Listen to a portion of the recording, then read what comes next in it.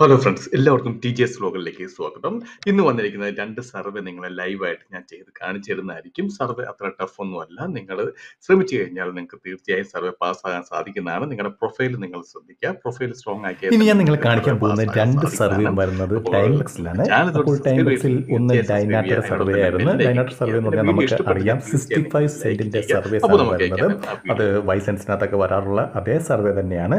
അത്ര ടഫായിട്ടുള്ള സർവേ ഒന്നുമല്ല. എനിക്കിത് കിട്ടിയത് ക്ലിക്ക് എന്നുള്ള ഓപ്ഷൻ നമുക്ക് ഇപ്പം ഏൺ എന്നുള്ള അവിടെ ക്ലിക്ക് എന്നുള്ള ഓപ്ഷൻ കാണാൻ സാധിക്കുന്നതാണ്. ആ ക്ലിക്ക് എന്നുള്ള ഓപ്ഷൻ ക്ലിക്ക് ചെയ്യാൻ നേരത്ത് നമുക്ക് അഞ്ച് സെക്കൻഡൊക്കെ നമ്മൾ ജസ്റ്റ് വെയിറ്റ് ചെയ്യാൻ നേരത്ത് നമുക്ക് zero point zero zero one വെച്ച് ക്രെഡിറ്റ് ആകുന്നതായിരിക്കും. അവിടെ നിങ്ങൾക്ക് സർവേസ് വരുന്നതായിരിക്കും. അതേ ക്ലിക്ക് ചെയ്യാൻ നേരത്ത് സർവേ പേജിലേക്ക് റീഡായിട്ട് പോകുന്നതായിരിക്കും. അങ്ങനെ നിങ്ങൾ ഡൈനാറ്റയുടെ സർവേ ചെയ്യുവാണെങ്കിൽ എനിക്ക് തോന്നുന്നത് ഞാൻ ഒരുപാട് ഡൈനാറ്റ സർവേ അങ്ങനത്തെ ഞാൻ പാസ്സായിട്ടുണ്ട് അപ്പോൾ ആ ക്ലിക്ക് വഴിയാണ് ഞാൻ അത് കൂടുതലും പാസ്സായിരിക്കുന്നത് അപ്പോൾ ഇത് വളരെ സിമ്പിളായിട്ടുള്ള ഒരു സർവേ ആയിരുന്നു. കാരണം സർവേ എന്ന് പറഞ്ഞു കഴിഞ്ഞാൽ ഇപ്പോഴും പലർക്കും പല ഡൗട്ടുകളുണ്ട് സർവേയെക്കുറിച്ച് കാരണം സർവേ എന്ന് പറഞ്ഞു കഴിഞ്ഞാൽ നിങ്ങളുടെ ഒപ്പീനിയനാണ് അവർക്ക് വേണ്ടത്. അല്ലാതെ അതിനകത്ത് ശരിയോ തെറ്റോ ഒന്നും ഇല്ല. നിങ്ങളുടെ ഒപ്പീനിയനാണ് നിങ്ങൾ ഓരോ കാര്യത്തെക്കുറിച്ചുള്ള ഒപ്പീനിയനാണ് അവർക്ക് വേണ്ടത്. സർവേ നിങ്ങൾക്ക് വരുന്നത് നിങ്ങളുടെ പ്രൊഫൈലിനനുസരിച്ചാണ് നിങ്ങൾ ക്രിയേറ്റ് ചെയ്ത പ്രൊഫൈലിനനുസരിച്ചായിരിക്കും നിങ്ങൾക്ക് കിട്ടിക്കൊണ്ടിരിക്കുന്ന സർവേ.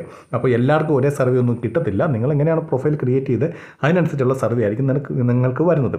അതിനുശേഷം നമുക്ക് ഇപ്പം ഡിസ്ക്വാളിഫൈ ആകുന്നതെന്ന് പറഞ്ഞാൽ സർവേ ഡിസ്ക്വാളിഫൈ ആകുന്നത് നോർമൽ കാര്യമാണ്. അവരുടെ ഏത് സർവേ സൈറ്റ് നിങ്ങൾ നോക്കി കാണാൻ സാധിക്കുന്നതാണ്.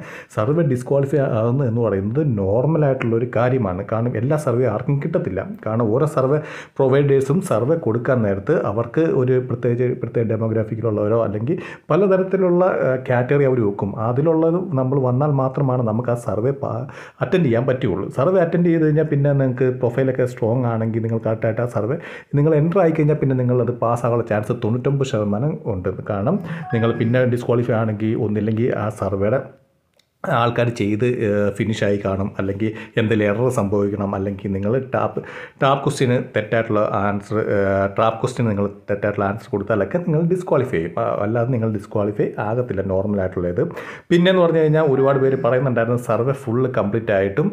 ഇപ്പോൾ നിങ്ങൾ കാണാൻ സാധിക്കും നമ്മുടെ സർവേ കംപ്ലീറ്റ് ആയി. കംപ്ലീറ്റ് ആയപ്പോൾ നമുക്കിവിടെ നോക്കിക്കഴിഞ്ഞാൽ സിക്സ്റ്റി ഫൈവ് സെന്റ് നമുക്ക് അതിന്റെ ക്രെഡിറ്റ് ആയത് കാണാൻ സാധിക്കുന്നതാണ്.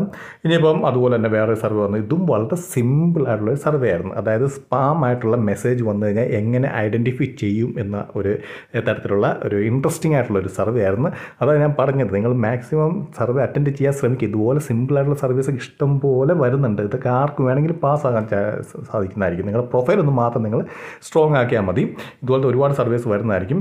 അപ്പോൾ ഞാൻ പറഞ്ഞു എന്ന് പറഞ്ഞാൽ ചില സർവേ നിങ്ങൾ കംപ്ലീറ്റ് ആക്കിയിട്ട് നിങ്ങൾക്ക് അതിന്റെ പോയിന്റ്സ് ക്രെഡിറ്റ് ആകത്തില്ല എന്ന് പറഞ്ഞായിരുന്നു.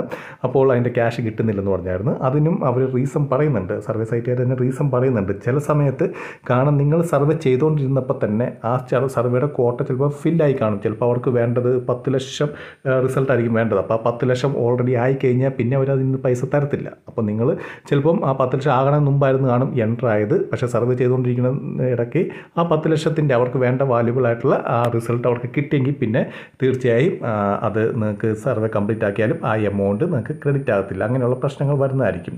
അപ്പോൾ നിങ്ങൾ പ്രത്യേകം ശ്രദ്ധിക്കുക. സർവേ സൈറ്റുകൾ നിങ്ങൾ കൂടുതൽ വർക്ക് ചെയ്യുക. കാരണം സർവേ സൈറ്റിൽ നിന്നാണ് നമുക്ക് ഏറ്റവും കൂടുതൽ ഏണിങ്സ് പെട്ടെന്ന് നേടാൻ സാധിക്കുന്നത്. കാരണം ഒരു സർവേ നമുക്ക് പത്ത് ഇരുപത് മിനിറ്റ് നിങ്ങൾ സ്പെൻഡ് ചെയ്താൽ പോലും ചിലപ്പോൾ നിങ്ങൾക്ക് അമ്പത് സെന്റ് അല്ലെങ്കിൽ one dollar two dollar three ഡോളറിന്റെയൊക്കെ survey വരാറുണ്ട്.